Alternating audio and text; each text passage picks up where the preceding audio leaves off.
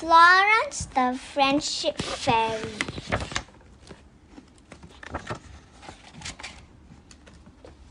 Magic Memory Magical Memory Chapter 1 Rachel Walker was staying with her best friend Kirsty Tate. One day they looked through Kirsty's scrapbook which was full of lovely things. Kirsty and Rachel had a special secret. They were friends with the fairies. The scrapbook reminds them of all the fun they had enjoyed together. I hope we have another fairy adventure soon, Kirsty whispered.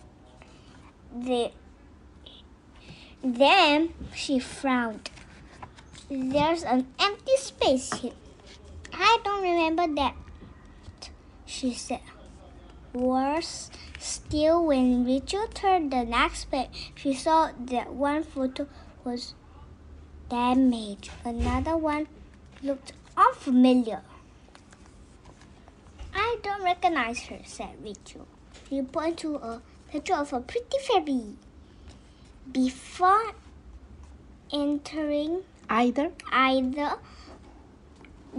girl could see say another world the fairy began to sparkle she flew straight up from the page.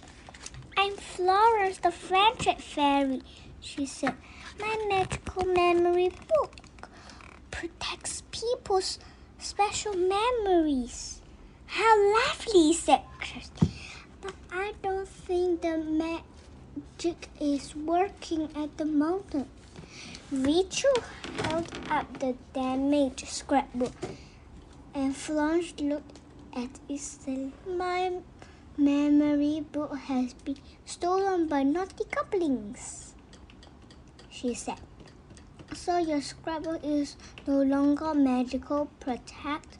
That's terrible, said Kirsty goblins have come here and messed up your book, Florence said. I must find them before they do more damage. Well, help, you promise. Just then, Kirsty's mom came into the room. She asked the girls to come to the village shop to buy some groceries. Flora had to hide in the scrapbook. A few minutes later, the girl head into the village with Florence. Rachel soon spotted something on the ground. That's a picture from my scrapbook, said Kirsty. The girls were walking through the park when they heard the sound of square they hid behind a bush and saw three goblins marching along, pushing each other as they went. One of them was carrying a smart looking book. That's my Magic Mary book, whispered Florence. Don't we make a memory book? said a small. It will be far better than this one. I've got lots of lovely dirt and weeds to put in it. We should we should put in a photo of me reaping of this soapy fairy book. Another goblin.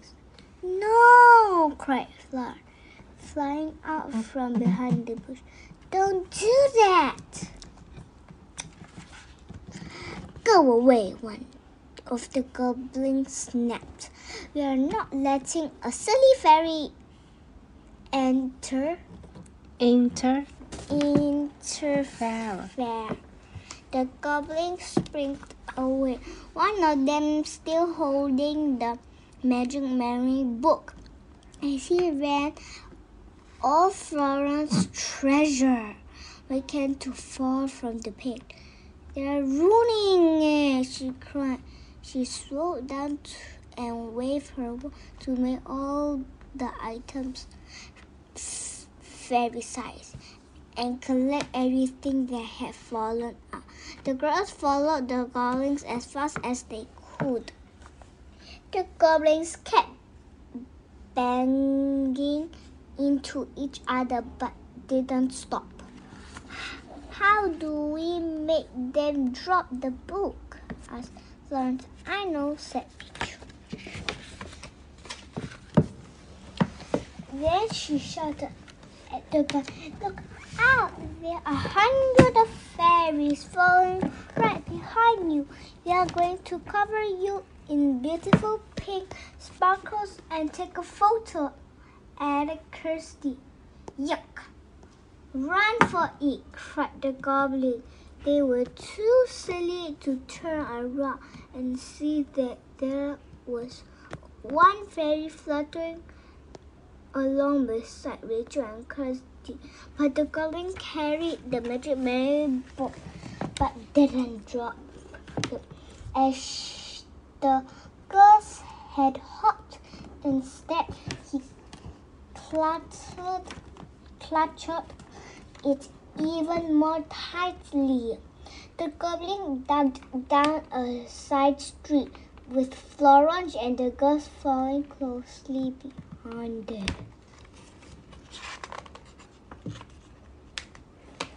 Kirsty grinned when she saw the road was a dead end. Moments later, the goblins had their backs to the wall. The smallest one was still clucking the magic memory book. Why do you want my pink book anyway? Florence asked. Would, wouldn't you uh, rather have a nice green one instead? Of course. Of course, we would, said another girl. But we haven't got a green book, so we're having yours. Twinkling stuck out his tongue at the girls. If we could find the perfect goblin manual book with an icky green cover, would you do a swap? Swap. Swap. Swap. Swap. Did you ask? The girl looked thoughtfully.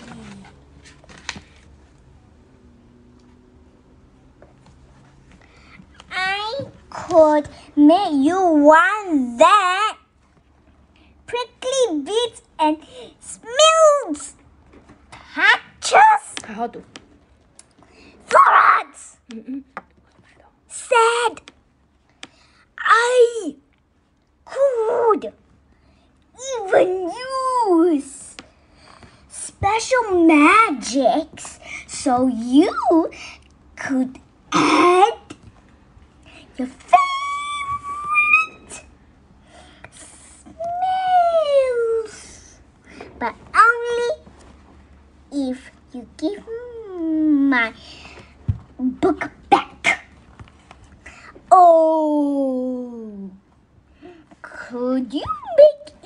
smell like dirty feet?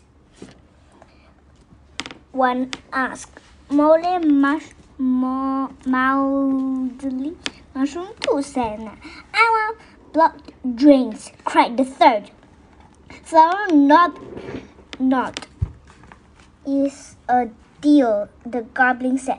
Do it! Florence waved her wand and Aussie green book appeared. The fairy gave it to the goblins in return for her book. Thanks, girls, she said to Kirsty and Rachel. I have to go now, but take a look in your shopping bag. As Florence vanished, Kirsty and Rachel in, reached inside her mom's bag. She pulled out two invitations. Rachel, she cried, we're invited to a friendship party tomorrow. at the Fairyland Palace.